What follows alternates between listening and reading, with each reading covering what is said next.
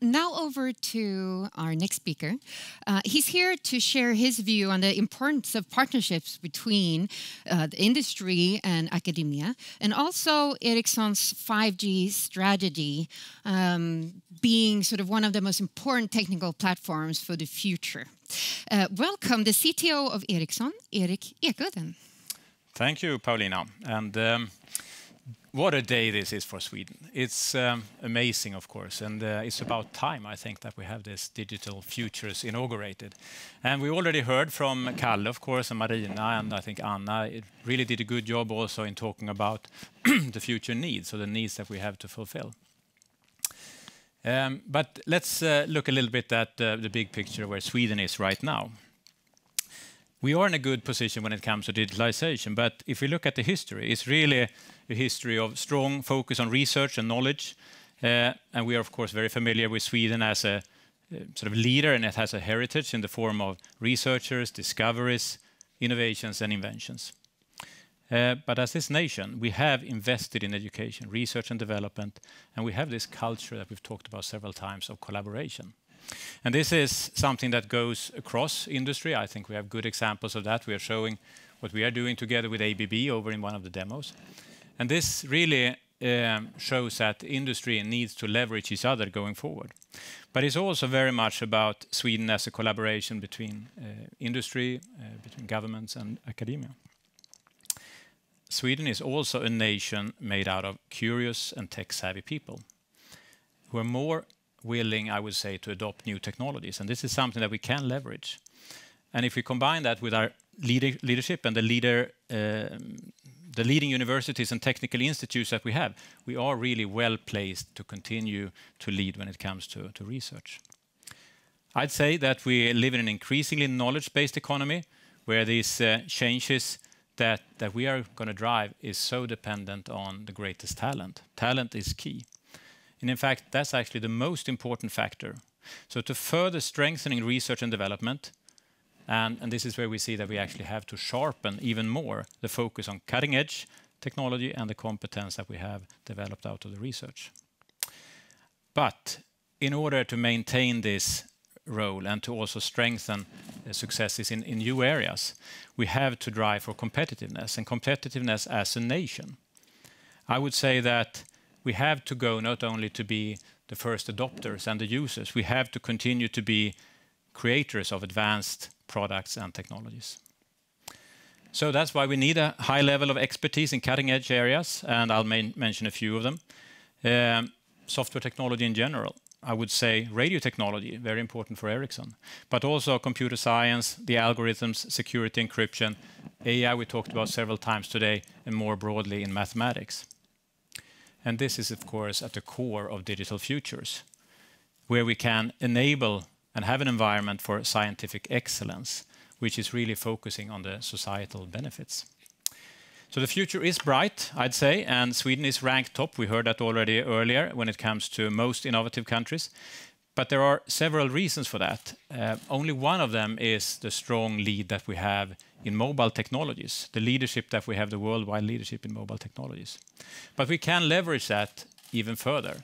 So by building on 5G, we talked about it as a platform for innovation for many other industries to innovate on, and also exploring new areas where we work together with other leading Swedish companies, we can actually define the future manufacturing, as, as you may be able to see in the demo where we have 5G-enabled robots. Or the example, for example, of industry self-driving, uh, industrial self-driving vehicles really creating efficiency in, factories. Another form is really to, look at different flow uh, in the logistics chain. So the work that Einride is doing together with DB Schenker and Telia is really a good uh, example of this collaboration for smarter logistics. There you would get 60% lower costs and 90% lower CO2 emissions. And we've gone into that a few times before. You need this underlying digital infrastructure to be able to get the benefits, both on the cost side and the human side, but also very much when it comes to the environment. Being able to use 5G to reduce emissions in all other sectors, that's really one of the key enablers. So these uh, collaborations are what Digital Futures is about. It's about fostering this and collaborating even closer across the industry sectors. And uh, I would say that that's well on the way by this program. A thought on exponential innovation. What does exponential innovation mean? Well, I would say we have a great example already in the phenomenal development in the mobile industry itself. But perhaps even more important is to look at the accelerated development in other sectors, which is a result of this fastest growing technology that we've had ever, the mobile technology. Uh, today, we have almost 8 billion mobile subscriptions globally. And if you look at the coming 10 years, we will basically connect everyone on Earth using mobile technology.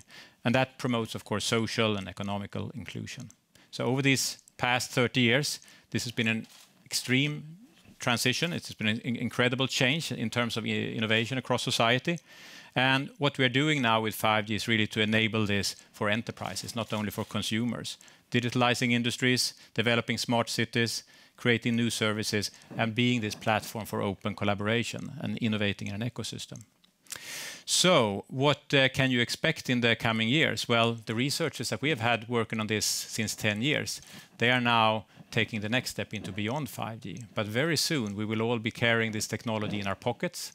You would maybe replace your analog glasses with the future 5G-enabled glasses, or, of course, many more things that are supported by this advanced digital infrastructure. And uh, this means that exponential innovation, it comes really from this cross-disciplinary research in the combination with new areas, such as the AI area, the smart materials area, new computing paradigms already taking us to neuromorphic and quantum compute. And it's about sensor technology and robotization. All of this will actually result in breakthrough ideas, breakthrough services for humanity going forward. In Ericsson, we see R&D not as a cost, but as an investment. And it's a true value creator and something that drives this exponential innovation. So our collaboration here then with Digital Futures will build on this and further strengthen, I would say, Sweden's competitiveness as a nation and also pioneer this combination, which is so important, of the physical plus digital or the new mixed mode future. So with that, really great to be part of this. Thank you. Thank you, Erik. Do you have time for some questions? Absolutely, Paulina. Good. So I'm I'm really curious about the sort of competence aspect of it. As you mentioned, and as people mention all the time, there is a huge lack of engineers. Hmm. Uh, what type of measures and sort of initiatives would you like to see or do you believe in when it comes to encouraging people to become engineers and actually get, get involved in what you do? Well, I think we should be very grateful right now because there is a huge momentum in our field right now. I think we see many that are interested in really um, sort of studying uh, technology from the core, knowing what happens with, of course, the new fields that you see in Uh, artificial intelligence, in the gaming field. There are so many areas that are just mind-boggling. So I think that there is a curiosity. There is a need coming from from the young generation. But I think we need to, of course, realize that we can't be best at everything. So as a sort of society, as a nation, we have to make sure that there are paths to build on our strengths in education and making sure that they are really uh, top-notch, that they are world-leading going forward as well. What we're seeing globally is that the big tech companies are starting their own sort of collaborations with universities or even initiating their own programs to sort of make sure that they get the people they need. Hmm. Is that something that you're looking into as well? Well, we have a big reskilling activities where we work together with universities around the world. So there is a very close connection to to the established universities when it comes to that. We have not uh, gone that far to create our own education for Uh, people outside of the company.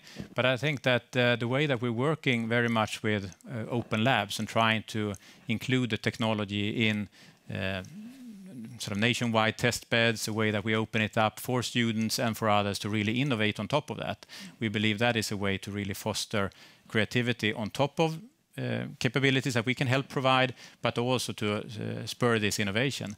I would say that if we would, should give ourselves a big challenge as a nation, it's really about taking this to the next step, to to look at Sweden as a playground or perhaps the Nordics as a playground where we can really explore the new uh, activities, both with Digital Futures and, and, I would say, beyond that. Because with that in place, you would see a lot of innovation coming up, and you would see a lot of interest, I think, that would be coming back into technology, coming back into digital.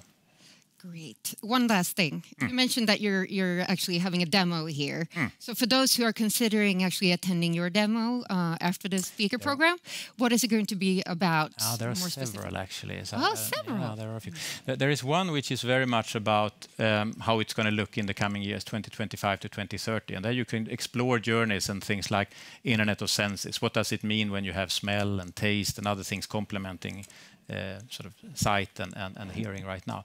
I think that's really exciting. But the thing that Matilda talked about is really an example where we work together with ABB on robotics and 5G and AI. So instead of having all the intelligence in the robots, you actually move some of the intelligence out of the robots, put it in a local cloud perhaps, connect it over 5G, and then you can control and, you can configure uh, sites, manufacturing sites over distance. So that's a way to get efficiency, but more importantly, to get the flexibility. And then you could actually scribble your own name or something else on a on a sort of Um, an iPad there, I think it is, and, and then the robot over 5G will just draw that for you. So have a look at that. Yeah, super exciting. Thank you so much, Erik, for Thank joining you. us. Thanks.